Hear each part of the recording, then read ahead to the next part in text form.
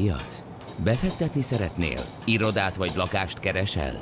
Építkezel, felújítasz? Vagy energetikai megoldások érdekelnek? Nem tudod még, hogy mindezt miből finanszírozd? Mi segítünk! Hallgassd a négyzetmétert, a millás reggeli ingatlan rovatát. Ingatlan ügyek rálátással. Hát minden az energiatakarékosságról szól, és ahogy lehet látni az ingatlanpiacon, azok a ö, nagyméretű családi házak, amelyeknek nem jó a besorolása, rosszul vannak szigetelve, azok nagyon energiapazarlóak, vagy azt szokták mondani, hogy az utcát fűtik. Id, id, ide be lehet szúrni azt a kedvenc tudományos mémemet, ami most jött sor rend, szembe a Facebook oldalon, ez a csuk be az ajtót, mert bejön a hideg. Pofon, a hideg nem jön be, a meleg megy ki. Termodinamika 2.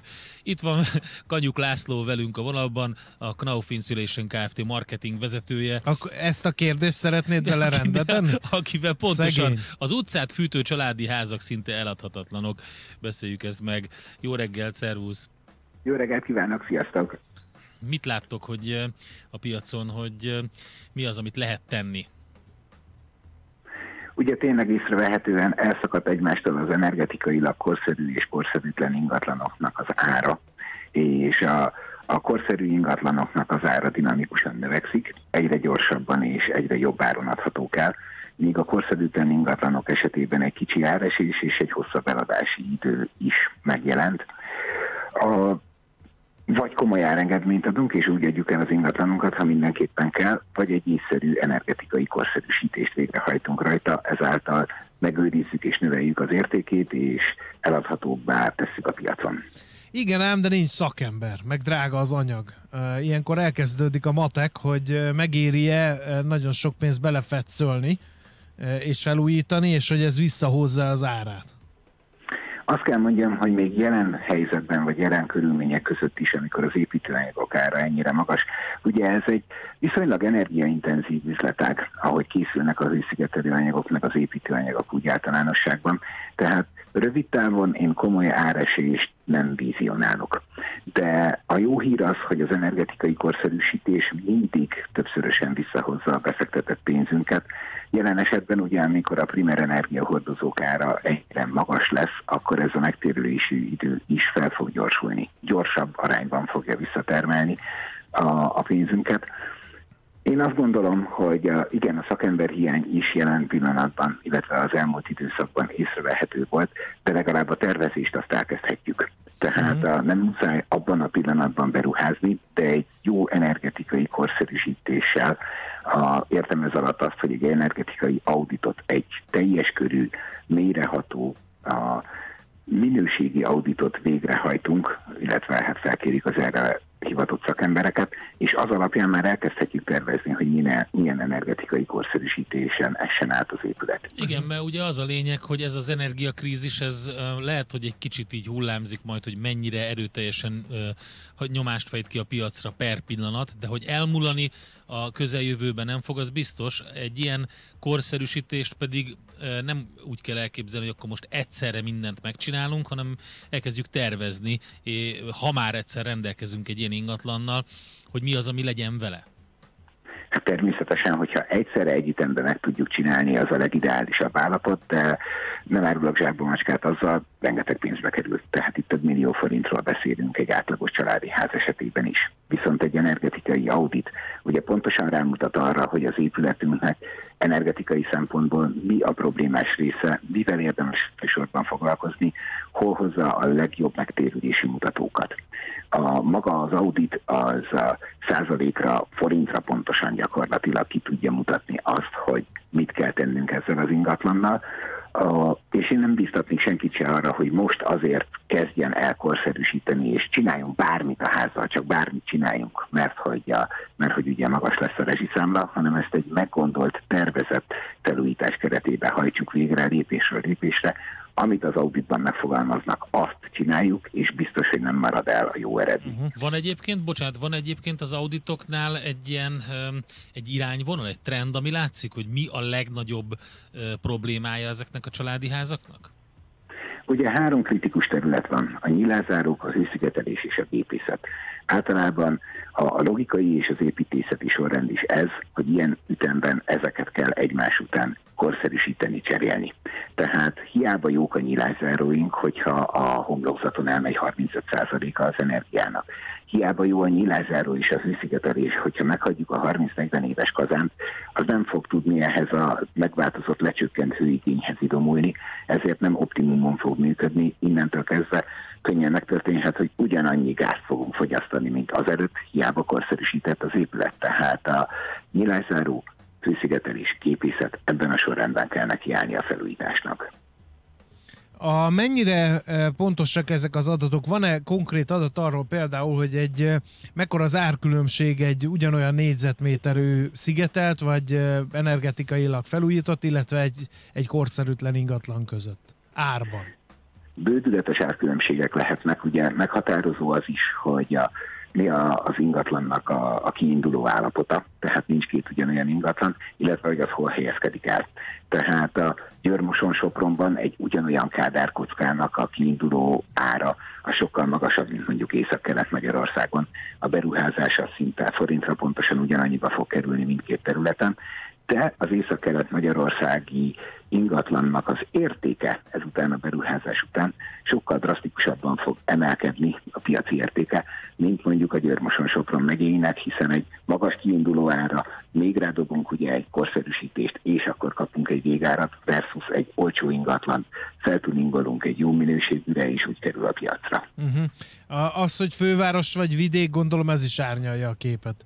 Jócska. Persze számít, tehát a, ugye Pest megye agglomeráció, illetve Észak-Nyugat Magyarországon jellemzően magasabbak az ingatlanárak, Kelet-Magyarországon alacsonyabbak az ingatlanárak, úgyhogy a, itt azért jelentős több 10 milliós különbségekről beszélünk. Uh-huh. Az eladási idő is gondolom változik, hiszen hogyha valami korszerű, meg meg beköltözhető, az is általában azzal szokott kezdődni, hogy az gyorsabban el kell, mint az, ami, mert láttunk ugyan fantáziát, de azt is látjuk, hogy rengeteg időt, pénzt, energiát kell beletenni addig, hogy az nekünk megfelelő ingatlan legyen.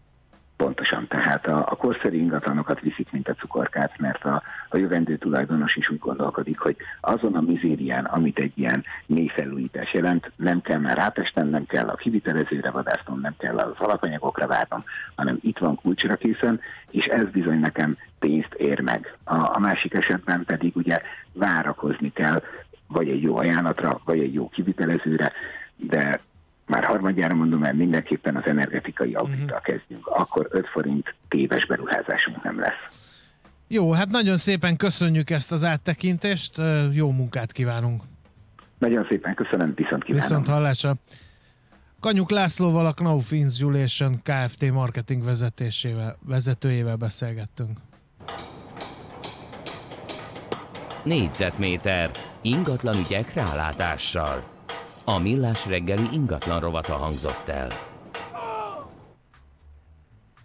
No, hát... Mi van a postaládánkban, András? Postaládánkban igen, a igen. következő Fel kell, hogy rázzalak egy vannak. Picit, ki, Kedves barátaim, itt az ideje, hogy a nemzeti parkok is nemzeti kézbe kerüljenek, írta a Smiley-val valaki. Aztán hát de... miért fáj a városoknak az, hogy néhány zöld rendszámos autó nem ingyen parkol, akkor érteném, ha tömeges lenne a számuk még nem, de afelé haladunk, és szerintem egyrészt ez van, másrészt meg bevételkényszer van az önkormányzatoknál a forráshiány miatt. Én ezt gondolom itt a háttérben. András, tudtad, hogy időnként emlékeztetsz a hagyóra? Köszönöm. De no nem, nem tudta. A lovas Berényi volt kormányüdülő a belügyminiszter tulajdona, ezért kerítik le a vadász területet a Velence egységbe. Igen, olvastuk erről, erről a hírt. Azt mondja, hogy a 12 keretben drónról permeteztek méreggel egészséges gesztenyefákat, hogy jobb legyen a kilátás a magán érdek mindenek felett írja az egyik hallgató. Nekem is személyesen nagyon rossz tapasztalataim vannak ezzel kapcsolatban Kántor kollégával ezt már meg is osztottam annak idején, ő is megosztotta a sajátját, ez pedig azt mutatja, hogy nem csak a hallgatóknak, hanem nekünk is van rossz tapasztalatunk arról, hogy mire képes az emberi gyarlóság. Hát arról bőven. Aztán hát nagyjából ezek jöttek a mérhetetlenül ö, nagy mennyiségű szóviccen túl, ami Na, egy-kettőt légy szíves, hadd menjünk innen. Derek, Derek Clapton. És ennyi, az remélem egy, egy Ennyi. rajz is van hozzá. Van természetesen. Jó, gitározik a gondolom a Horst Tappert, és akkor úgy. Igen, ezek okay, vannak. szuper. Aztán valaki itt ömlenget nekem, azt nem találom sajnos, hogy az intelligencia szintje igen, szeretjük a szóvicceket, kérünk még. A Blu-ray-t 53 ezeren elküldték, ezt a Ray Krebs nevű csávót Igen. be volt eh, kékítve, Igen, és ezzel, jó. hogy ő a Blu-ray. A szóviccek elharapozása mindig a civilizáció összeomlásának közelettét harangozza be. be Valóban, lásd, valóban. Ez volt a hellenisztikus kultúrában is. lásd coito ergo sum Ja. írja Bérfarkas, ö, aztán hát nem, de ilyenek, tehát hogy dosztig, tehát té- Egyébként teljesen. ennek, ha már itt tartunk, van egy tökéletes magyar fordítás a latinból, ott is csak a gondolkodom, tehát vagyokból a G betűt kell elhagyni, és akkor megvan. Köszönöm. Magyarul. Ember.